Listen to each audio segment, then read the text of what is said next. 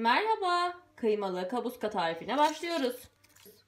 Biz lahanamızın ortasını kullanacağız. Dışıyla da lahana sarması yapabilirsiniz. Şimdi kesim işlemine başlıyoruz. Bu şekilde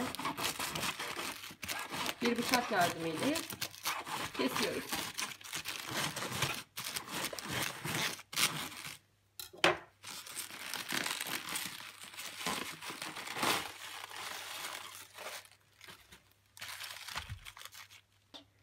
Biz bu kısımla başlıyoruz. Onları bu şekilde doğruyoruz.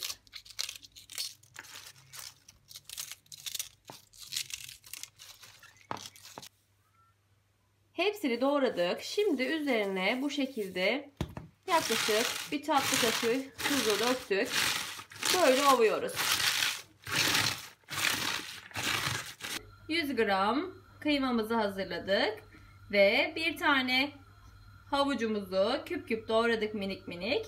Ve bir adet büyük boy soğanımızı ince ince doğradık.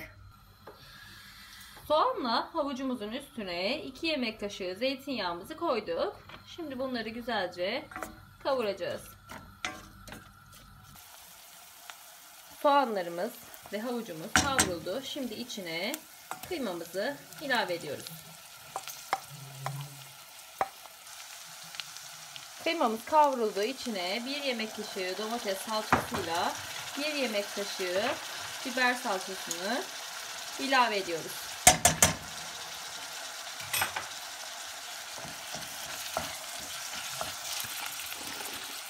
Salçamız da kavruldu. İçine lahanalarımızı ilave ediyoruz.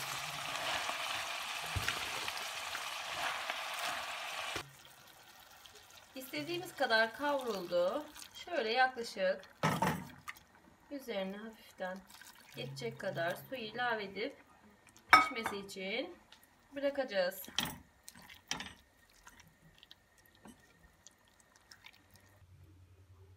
Yemeğimiz pişti. Altını kapatıp servis tabağına alıyoruz. Hepinize afiyet olsun. Abone olmayı unutmayın.